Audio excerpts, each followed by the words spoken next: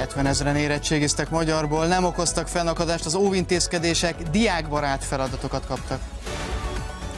Óvatosan indul újra az élet 18 megyében, lehet menni étterembe, fagyizni vagy strandra, Budapest és Pest megye kivétel. Enyhítik az óvintézkedéseket szinte egész Európában, az olasz gócpontra, Lombardiára figyel mindenki. És durvul az amerikai-kínai vita, Trumpék szerint egy Wuhani laborból ered a vírus, Kína szerint ez rágalom.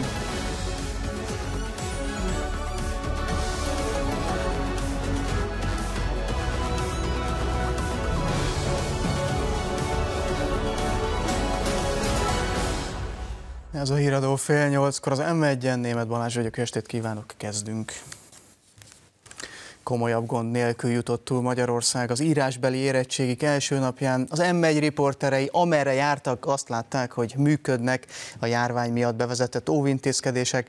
A diákok és a tanárok is alkalmazkodtak a különleges helyzethez. Nagyjából 70 ezeren írtak magyar érettségit, nem csak a bizonyítvány, hanem a felsőoktatási felvételi miatt is fontos volt a tanulóknak, hogy túl legyenek rajta.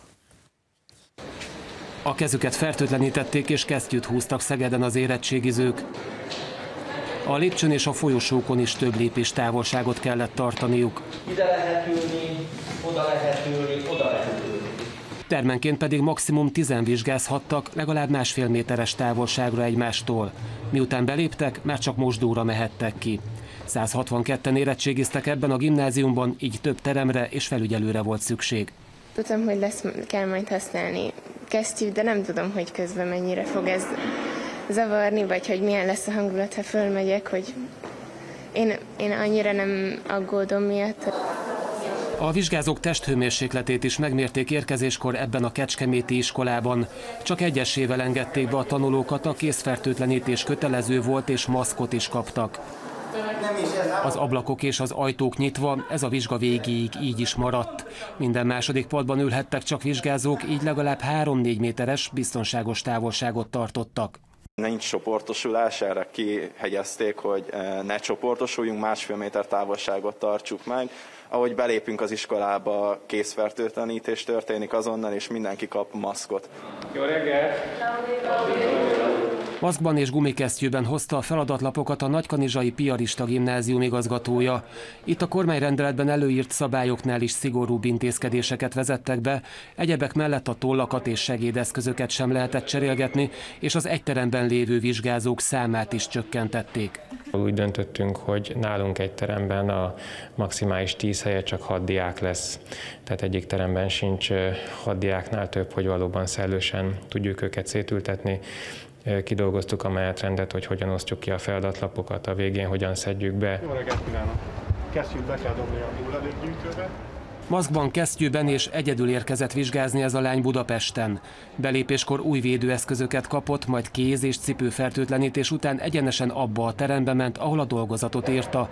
Társaival csak ott találkozhatott, legalább másfél méteres távolságból fizikai érintkezés nélkül. Én amúgy is izgulós vagyok, szóval nekem ez már nem, nem rak rá többet igazából de mivel amúgy is figyelek már ugye hónapok óta arra, hogy mindig fertőtlenítsem otthon magamat, és hogy figyeljek erre, maszkot is viselem, ezért ez az érettségi élet nem fog, nem fog igazából mm, gondot okozni.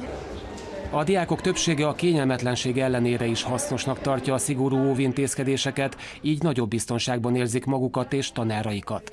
Szerintem mindenképpen hasznosak, mert sajnos egy ilyen helyzetben vagyunk, ezeket meg kell hozni, ezeket a döntéseket. A helyiségek csak indokolt esetben. A Xentus János gimnáziumban orvos, pszichológus és védőnő is segítette a tanulókat. Több tartalék maszkot is kaptak, ezek viselése a teremben ajánlott, a folyosón pedig kötelező volt. Mindenhol volt plusz készfertőtlenítő, illetve a takarító szolgálat a mosdókat minden használat után, a folyosókat pedig rendszeresen fertőtlenítette. Nem lehet itt várakozni, jó? Tehát, hogy menjenek tovább. A rendőrség is biztosította az érettségit. A vizsgák előtt és után az iskolák környékén a forgalmat irányították, illetve a csoportosulások kialakulását is megakadályozták. Azokat az érettségizőket, akik a dolgozat megírása után ott maradtak beszélgetni, figyelmeztették és hazaküldték. Az érettségi időszakban a tömegközlekedési járatok a tanítási időszakban megszokott menetrend szerint közlekednek. A járatok sűrítése mellett országszerte több és nagyobb kapacitású jármű közlekedik azért, hogy ne alakuljanak ki tömegek. Mindjárt mutatjuk a magyar írásbeli feladatait, de előtte még a további menetrend, hogy ezen a héten mi vár még a végzős középiskolásokra. Negyedike van, túl vagyunk tehát a magyar nyelv és irodalom érettségén. Holnap reggel 9-től jön a matematika, aztán szerdán történelem, csütörtökön angol, pénteken, tehát május 8-án pedig a német vizsgák. Természetesen összesűrítették az idei érettségi szezont. A vizsgai időszak május 21-ig tart mindössze, tehát 14 munkanap alatt lemegy az összes érettségi. Teljesen véletlen, hogy május 21-én a spanyol, illetve az olasz érettségi zárja a sort, vagyis a két nagy európai gócpont hivatalos nyelve jön majd, tehát május 21-én. És akkor vissza még a magyar érettségéhez. Négy órája volt minden diáknak, azoknak lett igazuk, akik azt tippelték, hogy a veszélyhelyzetben nem lesz nehéz az érettségi. Több tanár úgy fogalmazott, hogy diákbarát feladatok voltak. Minden szabályt betartva köszöntötték a régen nem látott osztálytársaikat a Kadaelek közgazdasági szakközépiskola diákjai. Május 4-én az érettségi első napján több hét után újra találkozhattak egymással az osztálytársak, így nem csoda, ha sokuknál pillanatokra feloldotta a vizsgadrukkot a találkozás. Nem is volt miért izgulniuk a diákoknak, ugyanis a karantén ellenére szinte minden iskolában végigértek a negyedikes tananyaggal az osztályok. Hála Istennek az iskola nagyon hamar megkezdte a távoktatást egy külföldi program segítségével, ezért rögtön, ahogy bejelentették a kiárási tilalmat, már szinte egy pár napra rá tudtunk kezdeni ugyanúgy tanulni, ahogy eddig. Volt, aki a leadott tananyagból jegyzeteket készített, és még az utolsó pillanatban is azokat olvasgatta. Mások más módszerekre esküdtek. Csináltam az ezelőtti érettségiket, leginkább azzal készültem, főleg a szövegértésre, mert nekem az mindig szűkös szokott lenni egy kicsit az idő, úgyhogy ezekre próbáltam rágyúrni, hogy minél gyorsabban kész legyek. Mindenki kitalálta számára a legcélra vezetőbb megoldást. Úgy készültem, hogy általánosságban megnézegettem a stílus történeti korszakokat, megnézegettem az irodalmi stílust, tehát, hogy bármilyen költő jön velem szembe, bármilyen vers, amit nem ismerek, és valószínűleg olyat adnak, amit, amit nem ismerek, akkor is meg tudjak vele birkózni. 9 órakor az egész országban becsöngettek. Ezzel megkezdődtek a 2020-as érettségig. Idén is a magyar nyelv és irodalomvizsga volt az első a sorban. Ebből a tantárgyból több mint 68 ezer diák középszintű érettségit tett, és a 2000-et is meghaladta az emelt szinten vizsgázók száma. A feladatokra 240 perc állt rendelkezésre. Az m nyilatkozó diákok szerint az idei érettségi a helyzet ellenére sem volt nehéz. Könnyűnek éreztem az egészet igazából. A szövegértés része sem volt különösebben bonyolult, volt benne pár gondolkodós, de az inkább az úgymond Hát családpintaság miatt, hogy az kell-e, vagy nem az kell, vagy túl könnyűnek tűnik, de igazából azzal sem volt gond. A négy óra alatt két feladatlapot kellett kitölteniük a diákoknak. Az elsőre 90 percük volt. Ez alatt a könyvek történetéről, az olvasásról és a kódexekről szóló szövegértési feladatot kellett megoldaniuk, valamint választhattak egy hivatalos levél megírása és egy sportról szóló érvelés megírása között. Olyan volt, ami, ami tényleg hétköznapi, ami a mai kor teljesen jellemző, szóval ki tudtuk fejteni normálisan az érveinket. A második feladatlap megoldására 150 percük volt az érettségizőknek, ami alatt egy műértelmezést kellett elvégezniük. A vizsgázók itt is választhattak, hogy vagy Fekete István a Tolvaj című novelláját elemzik, vagy pedig Arany János kertben és Tóth Árpád Lélektől lélekig című műveit hasonlítják össze. Szerintem nem volt annyira teljesíthetetlen, sőt azt mondom teljesíthető volt. Számomra hozzám közel álló feladatok voltak, a könyvekről volt szó a szövegértés során, az elemzésbe pedig Fekete István novellát lehetett ugye elemezni. Számomra Fekete István az egy kedvenc író, úgyhogy számomra nagyon jó volt. A közmédia hétfőtől három napon át kiemelten foglalkozik az érettségivel. Az m a vizsgák után minden délután egy szaktanárral elemezzük a feladatokat. Mi is a feladat? Ugye általában azért mondom csak általában, most nem néztem végig az összeset, de az élő emlékezet azt mondja, hogy minden novellámző feladat így kezdődik, értelmezze Fekete István alkotását. Ez az első mondat mindig. Ez azt jelenti, hogy nem csak a feladat kritériumainak megfelelő szempontokat lehet felvetni, hanem a novella elemzésnek további sokféle szempontját. Az érettségi kedden a matematika írásbelikkel folytatódnak. A nemzetiségi iskolákban is érettségiznek országszerte összesen 454-en.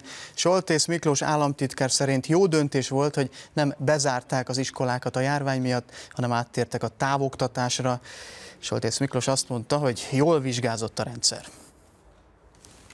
Ha belegondolunk, főleg azoknak a már felnőtt kor határán lévő fiataloknak az életébe, akik több mint egy évtizeden keresztül tanultak, és szerették volna bizonyítani tudásukat most az érettségi kapcsán, vagy akár a felvételit meg elnyerni, azoknak hatalmas nagy változás lett volna az életükben, illetve csúszás lett volna az életükben, hogyha ezt a döntést annak idején a kormány egyébként oktatási szakemberekkel nem hozta volna meg, és hogyha ezt a döntést a pedagógusok az elmúlt másfél hónap során nagyszerűen és kiemelt tudással nem valósították volna meg. A járvány miatt a szokásostól eltérő módon lehet megtekinteni a vizsgalapokat és fellebbezni az eredmény ellen.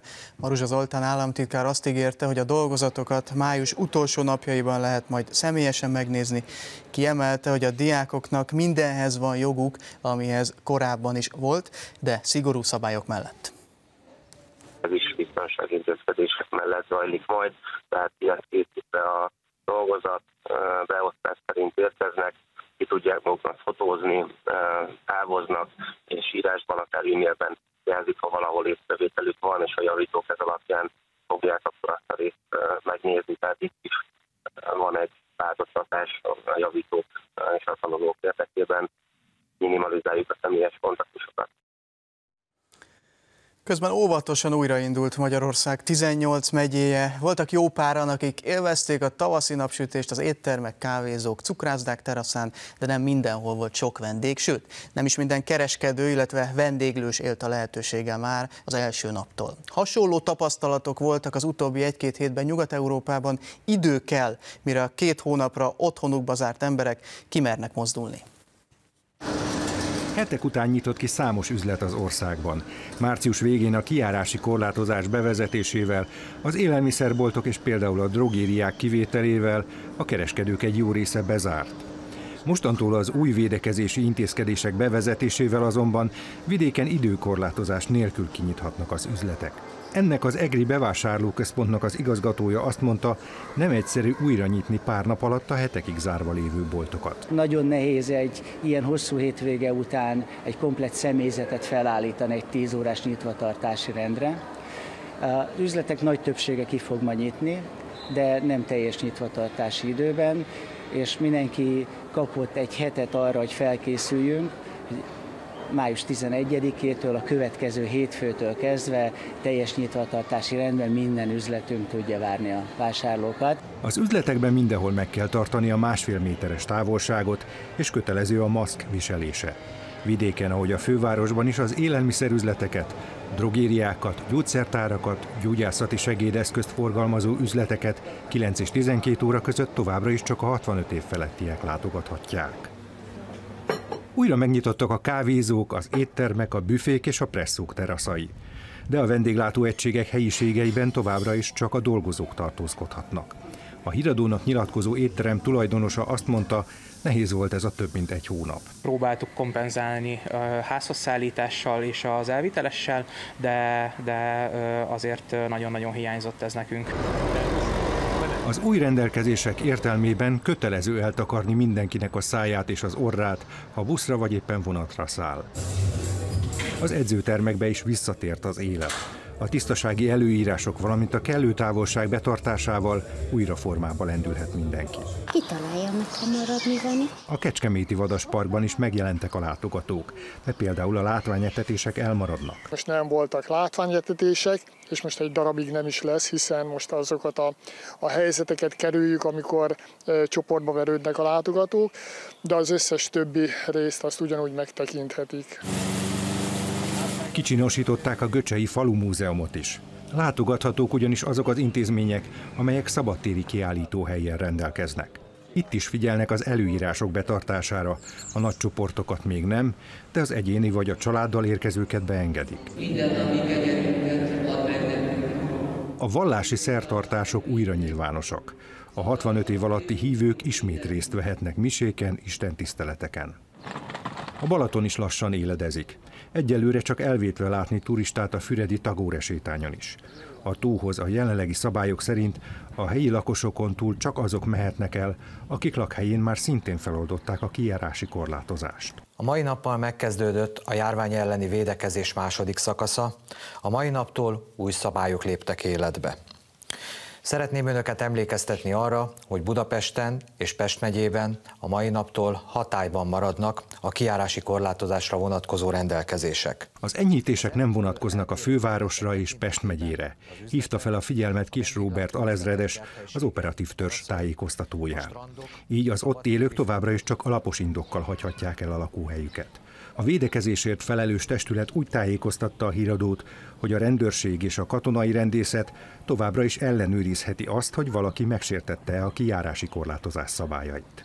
Ha sikerül Budapesten a halálozási arányt csökkenteni. A miniszterelnök a múlt pénteki rádió interjújában azt mondta, ha Budapesten sikerül a halálozási arányt csökkenteni, nem fognak habozni, hogy a fővárosiaknak is újraindulhasson a normális élet. Napra pontosan kettő hónap telt el azóta, hogy Magyarországon regisztrálták az első kettő koronavírusos fertőzöttet. Ez alatt a kettő hónap alatt napról napra emelkedett az igazolt fertőzöttek száma. Ma reggel hivatalosan 3035-nél jártunk, ez tehát az igazolt fertőzöttek száma. Emellett érdemes az aktív fertőzöttek számára is figyelni, mert hogy ennél kevesebben vannak az aktív fertőzöttek. A 3035-ből le kell vonni azoknak a számát, akiknek a szervezete feladta a küzdelmet, küzdelmet, tehát az áldozatoknak a számát, illetve le lehet vonni az igazolt fertőzöttekből a meggyógyult embereknek a számát, a 630-at, egészen pontosan a 3035-ből, és most fejből az áldozatok számát nem tudom, de hogyha a kollégák megnyomnak egy gombot, akkor megjelenik 351 az elhunytak száma. Tehát, tehát ha ezt a két összeget e, levonjuk a 3035-ből, akkor megkapjuk, hogy hány aktív fertőzött van jelenleg Magyarországon 2054. Azt lesz érdemes figyelni a következő hetekben, hogy ez merre indul el, mikor megy el lefelé. És mostantól új, ez is a koronavírus.gov.hu oldalon láthatták egy pillanatra, külön is a Budapest és a Pest megyei adatok fönt vannak, és a többi 18 megye adata is, tehát ha fölmennek az internetre, a hivatalos oldalra koronavírus.gov.hu, akkor ott osztva láthatják most már az adatokat. Azt viszont továbbra is tudjuk, hogy Budapesten és Pest megyében van a legtöbb fertőzött, igazolt fertőzött, sőt a legtöbb aktív fertőzött is, és bizony a halálos áldozatoknak is csak nem 80%-a Budapesten, illetve Pest megyében hunyt el. Erre hívta fel a figyelmet délelőtt Müller Cecília is. A 2054 főből 1290 fő teszi ki a budapesti, illetve a Pest megyei fertőzöttek számát. Ez továbbra is körülbelül az az arány, amit láthattunk az elmúlt időszakban. 63 százalékot jelent az összes fertőzötthöz képest, míg 764-en vannak fertőzöttek vidéken. Debrecenbe kapcsolunk élőben, Pinces Marian jelentkezik, és bizony mögötte a teraszon majd, hogy nem telt ház. Így van, ezt nagyon jól látod, szervusz, köszöntöm a nézőket. Hát nagyon-nagyon jó érzés azt mondani, hogy lassan, szép lassan, de biztosan Debrecenben is újra indul az élet. Csak körül kell nézni itt a hal közben. Megnyitottak az éttermek, a kávézók és a cukrászdáknak a kerthelyiségei és a teraszai, és hát óriási élmény örömteli látni azt, hogy rég nem látott ismerősök, rokonok ültek végre egy asztalhoz, és most már nyugodtan kocinthatnak, és jókat falatozhatnak. Nagyon fontos elmondani, hogy a vendéglátó helyiségeknek egyelőre csak a kerthelyiségei és a teraszai lehetnek nyitva nyitva. Megkérdeztem az üzletvezetőket, Legtöbben azt nyilatkozták, hogy a belső helyiségekben egyelőre csak a mosdókat lehet használni, illetve a pultnál is egyszerre csak egy ember tartózkodhat. Természetesen ők is betartják a járványügyi szabályokat, a dolgozók szájmaszkban és gumikesztyűben szolgálnak fel, és természetesen, mikor a vendégek elhagyják az asztalokat, akkor minden asztalt fertőtlenítenek, úgyhogy a vendéglátók részéről és a vendégek részéről is azt tapasztaljuk, hogy mindenki betartja az óvintézkedéseket és a szabályokat, hogy szépen lassan visszatérjen a normális kerékvágásban minden itt Debrecenben is. Igen, elvileg az asztal társaságok között kell meglennie a biztonságos másfél méteres távolságnak. Nem esküdnék meg rá, hogy ott mögötted megvan, de hogyha arra megy egy ellenőr, akkor nyilván leméri majd. Van ám szigorítás is, mert hogy maszkot kell hordani kötelező jelleggel mindenhol, a buszokon, Debrecenben, a villamosokon is, illetve az üzletekben. Mennyire tartották ezt ma be Debrecenben? Azt tapasztaltuk, hogy abszolút szabálykövetőek és fegyelmezettek a debreceniek. Ma például az egyik legnagyobb bevásárló központban voltunk, és ott az üzletekben ugye természetesen kötelező a szájmasznak a viselése, és nem igazán kellett noszoktatni az embereket. Akiken nem volt szájmaszk, azok azt mondták, hogy azért nem hordanak, mert nem tudták, hogy mától kötelező, de azt mondták, hogy természetesen holnaptól ők is betartják a szabályokat. Ezen kívül reggel részt vettünk a Szent Anna Székesegyházban a Szent Misén is, és ott is betartották abszolút a hívek a, a szabályokat, illetve illetve az előírásokat. Minden második padban ültek csak, maximum csak a családtagok ültek egymás mellett, és természetesen a szent áldozásnál is betartották a szükséges másfél méteres távolságot. És hát kalandoztunk is egy kicsit, felszálltunk egy villamosra, és ahiszed, hanem ott is szinte mindenki viselte a szájmaszkot. Ott is azt mondták, hogy aki, aki nem, az csak azért nem, mert nem tudta, hogy mától kötelező, de természetesen a debreceniek igyekszenek mindent megtenni azért, hogy betartsák a szükséges óvintézkedéseket, hogy szépen lassan visszatérjen minden a rendes kerékvágás vágásba is újra induljon itt az élet. Nagyon szépen köszönjük. Akkor még egyszer, hogy mindenki megjegyezze, mától tehát buszokon, villamosokon, metrókon és az üzletekben is az egész országban kötelező a maszk, vagy eltakarni a szájat, illetve az orrot. Koronavírus kézikönyvvel segíti a turizmus újraindulását a Magyar Turisztikai Ügynökség. A kiadvány az újranyitáshoz szükséges ajánlásokat tartalmazza a szálláshelyek, valamint a vendéglátó egységek számára. A turisztikai ügynökség vezérigazgatója azt mondta, hogy az egészségügyi szervezetek ajánlásait, valamint a nyugat-európai mintákat is figyelembe veszik. Ha a járványt nem tudjuk kordában tartani, ha nem tudjuk a számok növekedését kordában tartani, akkor kénytelen lesz a kormányzat újabb megszorításokat eszközölni. Úgyhogy én arra szeretnék kérni minden turizmusban dolgozót és minden vendéget, hogy ne úgy értékelje a hétfői nyitást, hogy minden elmúlt, minden véget ért, és minden visszáll a kerékvágásba. Lassan fog visszaállni a régi rend, de a fegyelmezettségünkkel, a távolságtartással azt gondolom meg fogjuk tudni közösen ugorni ezt a, ezt a nehéz feladatot. A magyarhoz hasonlóan több másik európai kormány is úgy döntött, hogy a háromnapos hétvége után, tehát május 4-én kezdődik az új korszak a védekezésben.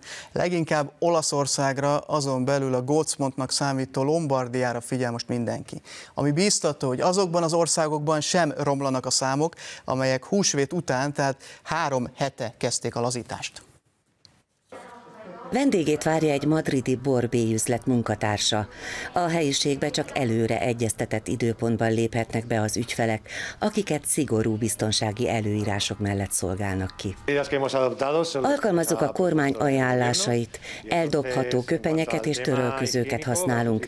Minden vendég után fertőtlenítjük az eszközöket és a székeket, mondta az egyik borbély. Spanyolországban március közepe óta nem jelentettek olyan kevés új halálesetet, mint az elmúlt napokban. A kormány ezért úgy döntött, hogy négy lépcsőben megkezdi a gazdaság újraindítását. Hétfőtől a szigorú higiéniai előírások betartásával újra fogadhatják a vevőket a 400 négyzetméternél kisebb üzletek és országszerte újraindult a tömegközlekedés is. Az utasoknak azonban kötelező maszkot hordaniuk. A madridi metróban erre rendőrök is felhívják a figyelmet. Büntetés helyett azonban védőmaszkot adnak mindenkinek, aki nem hozott magával. A hatóságok ugyanakkor mindenkit óvatosságra intenek, mivel attól tartanak, a korlátozások feloldása miatt visszatérhet a járvány. A félelem nem alaptalan.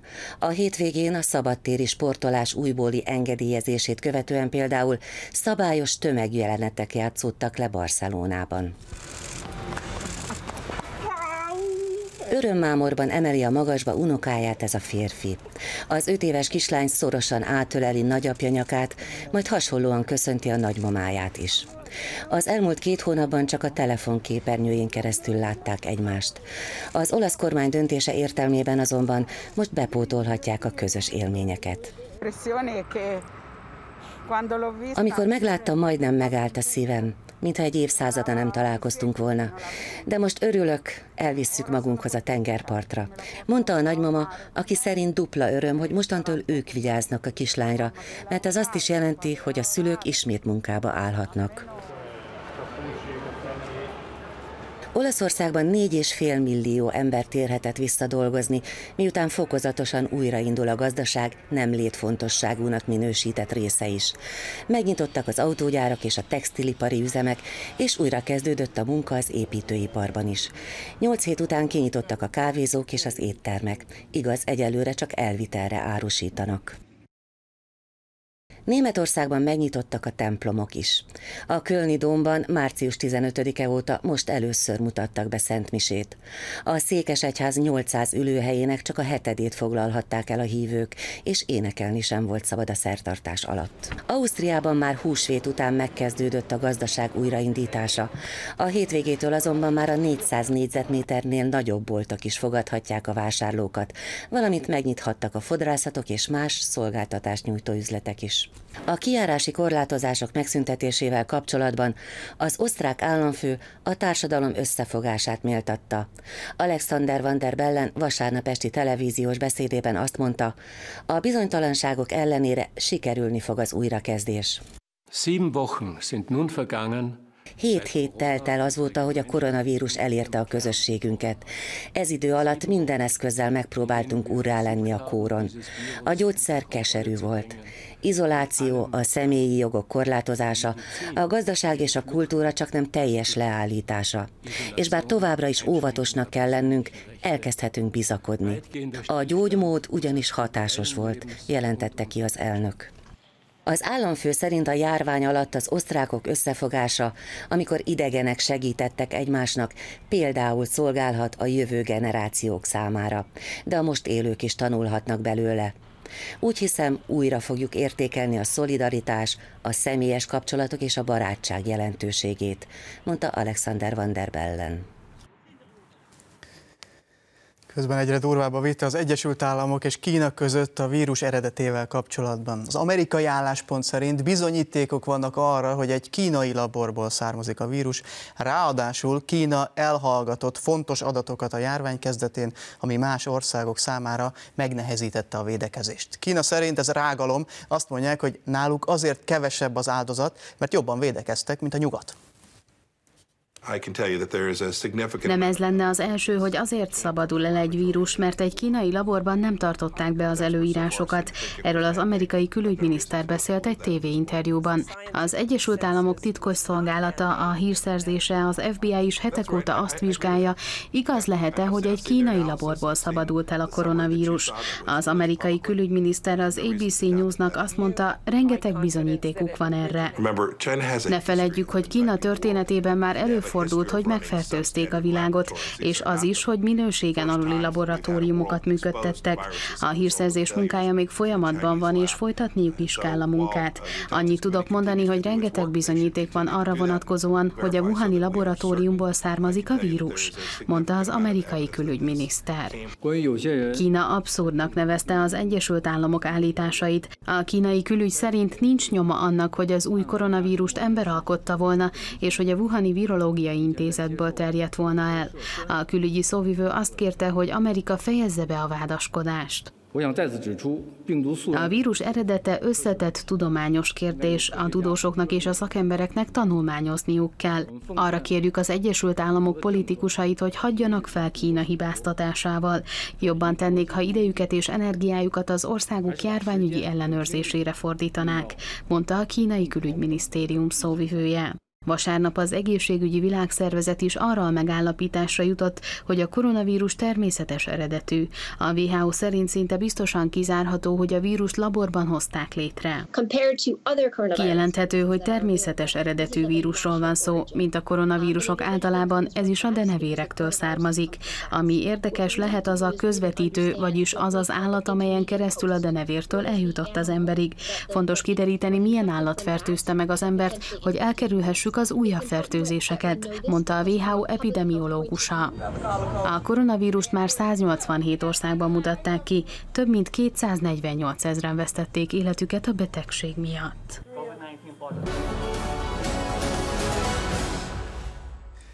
Hazajövünk megint, fokozatosan újraindulhat az egészségügyi ellátás a házi orvosoknál, a fogorvosoknál, a szakrendelőkben, de akár az egynapos sebészeteken is. Egyelőre, ahogy Kásler Miklós miniszter fogalmazott, a főszabály, hogy mindenkinek telefonon kell időpontot kérnie. Tehát nem személyesen oda menni, bekopogtatni, hanem előbb telefonálni. Az orvosok óránként négy betegnek adhatnak időpontot, és minden vizsgálat után fertőtleníteni kell védőfelszerelést kell használjunk, teljes fejvédelemmel, teljes testvédelemmel. Csak szigorú óvintézkedések mellett fogadhatnak betegeket ebben a székesfehérvári szájsebészeti rendelőben.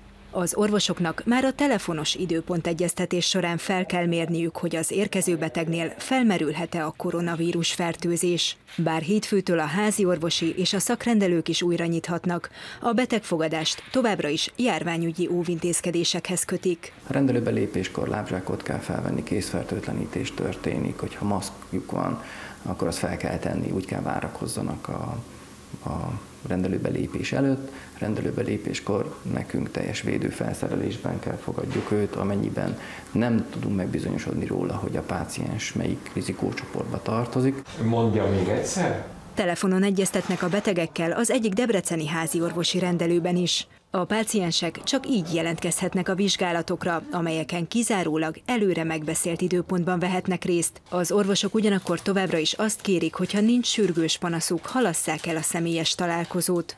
Ha viszont olyan probléma merül föl az orvos megítélése alapján, amelyik egy személyes közreműködést, vizsgálatot igényel, Ilyen például egy bőrkiütés, vagy egy injekció beadása, vagy egy torokvizsgálat, az megfelelő körülmények között elvégezhetővé válik a házi orvosi rendelőben. Egy óra alatt maximum négy főnek az ellátása történhet meg. Az országos tisztifőorvos kiemelte, az egészségügyi rendszer csak fokozatosan indulhat újra, hogy a betegek ellátása ne növelje a fertőzés terjedésének lehetőségét időpontra kell érkezni, és hogyha ezt az időpontot valami ö, probléma folytán nem tudjuk tartani, akkor kérem tisztelettel új időpont kérését, hiszen ha késünk, akkor felesleges találkozás történhet a váróteremben,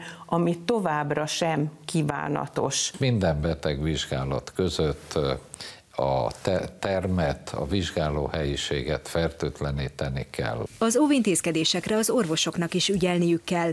Erről már az emberi erőforrások minisztere beszélt az m Kásler Miklós hangsúlyozta, az újraindítás feltételeit orvos szakmai kollégiumok határozták meg. A védőfelszerelés viselésén kívül például folyamatosan fertőtleníteni és szellőztetni kell a rendelőket. A tárcavezető beszélt arról is, hogy bár továbbra sincs védőoltás a koronavírus ellen, a gyógyult betegek vérplazmájában megjelent ellenanyagot már sikerrel alkalmazzák a magyar orvosok. A leges-legelső ilyen beteg, aki nagyon súlyos állapotban veseelégtelenség, kísérő betegséggel együtt lélegeztetőgépen volt. A múlt héten kapta meg a plazmát, rendkívül gyorsan konszolidálódott az állapota, a lélegeztetőgépről le lehetett venni. Kásler Miklós úgy fogalmazott, hogy a koronavírusos betegek kezelésében azok a gyógyszeres terápiák is reménykeltőek, amelyeket eddig más hasonló betegségek esetében használtak. Több mint 17,5 millió maszk érkezett Magyarországra a múlt héten. A védekezéshez szükséges eszközök szállítása a következő napokban is folyamatos lesz. Erről beszélt a külügyminiszter az országgyűlésben. Szijjártó Péter adatai szerint csak nem 100 millió maszk érkezett már Magyarországra a járvány kirobbanása óta. Azt mondta, nem igazak azok a hírek, hogy a kínai termékek nem felelnek meg az európai szabványoknak. Az elmúlt héten eh, több olyan eh, hír is felreppent, amelynek nyomán egyesek eh, a Kínából érkezett import termékek minősége kapcsán keltettek olyan híreket, amelyek szerint az az európai szabványoknak nem lenne megfelelő. Ez nem igaz. Minden termék, amelyet Kínából a szerződések szerint importálunk, megfelel az európai szabványoknak, megfelel a rá vonatkozó szabályoknak ezek mind úgynevezett CE minősítéssel rendelkeznek, így Európában szabadon felhasználhatók a vírus elleni küzdelemben az Európai Bizottság döntése értelmében. Aki kapott meghívót az országos koronatesztre, mindenképpen menjen el, mert így lehet pontos képet kapni arról, hol tart a járvány. Megint erre hívta fel a figyelmet a tömeges tesztelést irányító Semmelweis Egyetem. Délelőtt például az egyik Budapest melletti áruházhoz várták, vagy várták volna a kiválasztott embereket. Csongrád megyében már a hétvégén végeztek a tesztekkel, azt mondják, hogy ott viszonylag sokan voltak. Először az garatból fogom levenni a mintát, utána az orból, pár másodperces vizsgálat lesz.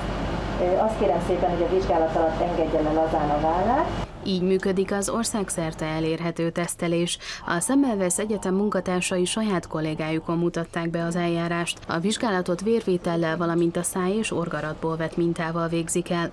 A levet vérből az ellenanyag jelenlétét is vizsgálják, és egy 50 kérdéses kérdőívet is ki kell tölteniük a programban résztvevőknek. A kérdőív után egy normál vérvétel volt, utána pedig váladék mintát vettek garatból és az orból. Ez csupán apró kellemetlenségekkel járt, és mindez semmi ahhoz képest, hogy milyen fontos adatokat lehet kinyerni ebből az országos szűrővizsgálatból a jövőre nézve. Négy nagy orvosi egyetem fogott össze, hogy átfogó képet kapjunk a magyarországi helyzetről. Véletlenszerű kiválasztással csak nem 18 ezer embert hívtak a programba. De egy legfontosabb feladat, hogy minél többen jöjjenek el ezekre a szűrésekre, tekintettel arra, hogy, hogy egy lakos, aki megjelenik a szűrésen, az 500 kötőjel 1000 másik társát, lakost, illetve magyarországi polgár képvisel. Dorrából és Faragból vezetni. Május elején kezdte meg a mintavételeket a Szegedi Tudományegyetem is. Csongrád megyében is véletlenszerűen választottak ki 3000 szemét, akiket behívtak a tesztre. Most folytatják a munkát a szomszédos megyékben. Közben a Debreceni és a Pécsi Tudományegyetem is folyamatosan vizsgál. Csongrád megyében három napig tartott az első hulláma a szűrésnek, és viszonylag nagy számban jelentek meg már az első napon is a kiválasztottak. A a szűrési kedv jó volt, a hangulata is jó volt egyébként a szűrésnek, munkatársaink is arról számoltak be, hogy gördülékenyen történt minden. Nem történt még a világon ilyen típusú vizsgálat, így ez lesz az első teljes országot lefedő szűrési program. Akit értesítenek attól azt kérik, lehetőleg menjen el a szűrésre, vagy tegye lehetővé, hogy a szakemberek az otthonában végezhessék el a tesztet, hogy minél pontosabb kép alakulhasson ki a magyar társadalom koronavírus fertőzöttségéről.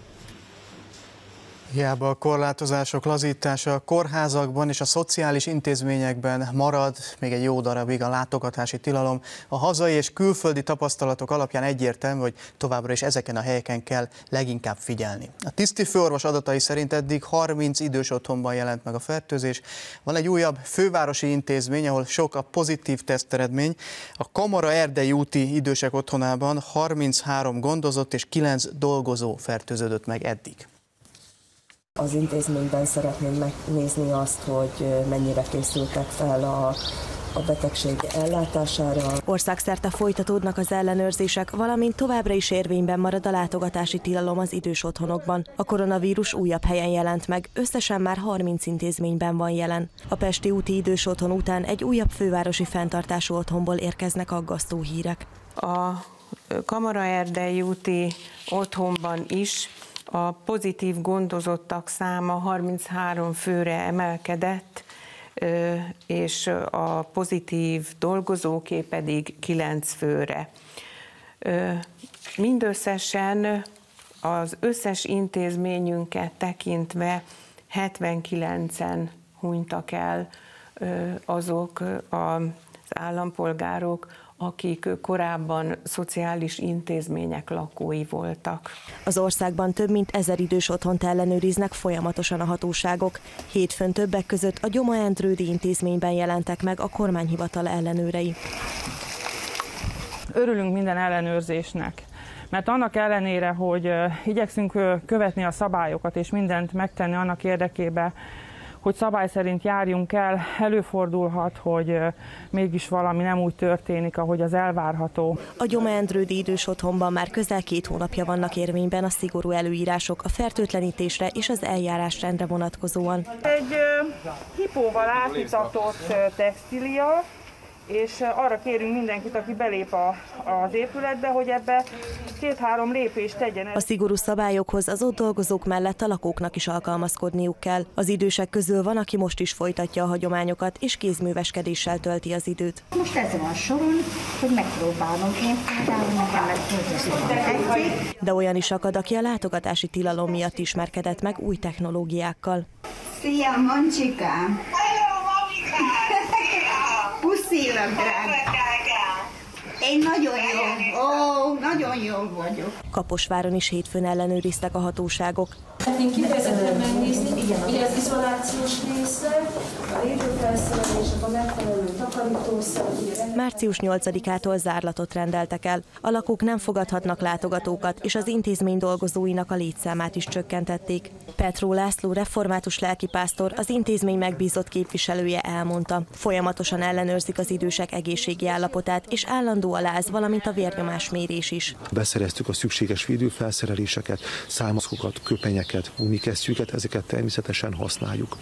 Felkészültünk arra is, hogyha olyan esettel találkoznánk, amely a vírus gyanúját nem csak megalapozottá tenni, hanem ki is mutatná, abban az esetben a dolgozóink számára is a megfelelő előírások elkészültek, illetve természetesen az izolációban is egy magasabb szintre tudnánk lépni. Jól tetszik lenni? Köszönöm szépen. Minden. A gondozók felelőssége is nagy, ezért a gondozottak védelmében a saját életükben is kerülik a kockázatokat. Ezt már az erdőbényei idős otthon vezetője mondta, aki hozzátette, hogy a kezdetektől szigorúan betartanak minden óvintézkedést. Nagyon figyelünk arra, hogy mindenki rendszeresen fertőtlenítő kézmosás alkalmazzon, vagy alkoholos kézfertőtlenítővel kezeljük azokat, akik erre nem tudnak esetleg maguktól figyelni. Vagy levesszük a falvédőket, vagy utána csak a, tehát fertőtlenítő mosásba kell részesíteni. Az idős otthonok ellenőrzése azért is kiemelten fontos, mert ha zárt közösségben indul el a vírus terjedése, ugrásszerű növekedés lehet a megbetegedések számában. Újabb átkelő nyílt meg a magyar-szlovák határon, szokás szerint Szijjártó Péter jelentette be a Facebook oldalán, Tornanádaskánál a magyar, illetve szlovák ingázók mehetnek át, hogy hivatalosan mondják, munkavállalási céllal. A közelben, bár révénél pedig mostantól már nem csak a magyar-szlovák kétoldalú forgalomban használhatják az átkelőt a kamionok, hanem azok a teherautók is átmehetnek, amelyeknek az úti célja Cseh vagy éppen Lengyelország. Jelentősen, csak nem ötödével csökkent a megrendelések száma az építőiparban a járvány miatt. Erről beszélt az Építési Vállalkozók Szövetségének elnöke az M1-en. Felhívta a figyelmet, hogy az építőipar 335 ezer embert foglalkoztat. A határon túlról érkező munkások hazamentek, szinte kivétel nélkül, viszont nyugatról sok magyar jött Magyarországra, őket is foglalkoztatni tudják, ha lesz munka. Lényegesen kevesebb a megrendelés, lelassultak az új munkáknak az előkészítési folyamatai, ebből az következik, hogy a tervezőknek kevesebb a munkája, körülményesebben tudnak előkészítést végezni, tehát igazán probléma az új szerződésekkel, új munkalehetőségekkel vannak. Április végén körülbelül egy olyan 18%-kal kisebb az építőipar rendelésállománya, mint egy évvel ezelőtt volt hasonló időszakban. Stratégiai együttműködésről kötött megállapodást egy nagy munkaerő kölcsönzéssel foglalkozó céggel a kormány, a Prohumán Kft. a tíz legnagyobb hazai foglalkoztató egyike. Szijjártó Péter külgazdasági és külügyminiszter azt mondta, a világjárvány után semmi sem lesz ugyanolyan, mint előtte, a világgazdaságban új verseny indul, de az elmúlt tíz év kőkemény munkája után sem kell szerinte feladni azt a célt, hogy Magyarország legyen Közép-Európa legvonzóbb beruházási célpontja. A szakképzett munkaerő gyors és hatékony toborzása az kulcskérdés a beruházások Magyarországra vonzásában. Ezért is fontos, hogy egy olyan vállalattal kötöttünk megállapodást, amely toborzás tekintetében Magyarországon egyedülálló kapacitással és egyedülálló tapasztalatokkal rendelkezik. Ugyanis hiába vannak jól, szak, jól kiképzett emberek egy országban, hogyha azok nem találnak munkát, vagy hogyha a vállalatok nem találják meg őket. Kérjenek bocsánatot a magyar emberektől, akik Magyarországról álhíreket terjesztenek. Ezt írta levelében Orbán Viktor az Európai Néppárthoz tartozó valamennyi tagpárt elnökének. A kormányfő úgy fogalmaz, példátlan támadás és dezinformációs kampány tanúi lehettünk, miközben világszerte a koronavírus járvány ellen küzdünk, és emberéletek forognak kockán. A miniszterelnök emlékeztet rá, hogy azt híreztelték például Magyarországról, hogy az országgyűlés bezárt, holott rendszeresen ülésezik azóta is. Orbán Viktor felhívja a figyelmet, hogy az Európai Bizottság időközben megvizsgálta a magyar intézkedéseket, és félreérthetetlen módon kimondta a bizottság, hogy ezek a támadások alaptalanok. A kormányfő külön kiemelte, hogy az Európai Néppárt politikusai is bekapcsolódtak a támadásokba. Donald Tusk, az Európai Néppárt elnöke odáig merészkedett, Orbán Viktor fogalmazása szerint, hogy párhuzamot állított a magyarországi intézkedések és a náci német rezsim egyik ideológusa között. Határozott és gyors fellépést kér az Erdélyi Magyar Szövetség az Európai Néppártól a román elnök magyarok elleni gyűlöletbeszéde miatt. Klaus Johannis a múlt héten beszélt arról, hogy az ellenzéki román szociáldemokrata párt szerinte azért harcol, hogy Erdélyt odaadja a magyaroknak. Johannis azzal próbálta gúnyolni és megalázni politikai ellenfeleit, hogy magyarul, tehát magyar nyelven köszöntötte őket a Klaus Johannis féle liberális párt, az Európai Néppárt tagja. Ezért az Európai Erdélyi Magyar Szövetség azt kéri Donald Tusktól, a néppárt elnökétől, hogy vonja felelősségre a román államfőt, amiért megalázta a magyarokat leírjuk azt, hogy a magyar nyelven megszólaló államelnök gyakorlatilag gúnytűzve a magyar nyelvből azt sugalja, hogy aki magyarul beszél, az nyilván csak bűnöző, illetve csak az ország ellensége lehet. Leírjuk azt, hogy ez, ez milyen típusú uszítás, hogy mennyire megalapozatlan. Leírjuk azt, hogy ez nyilvánvaló módon politikai számításból történik, sőt nem kizárt, hogy éppen azért történik, hogy a szükségállapotot kiszélesítve plusz jogkörökkel tudja magának szerezni az államelnök, illetve a mostani kormánypárt.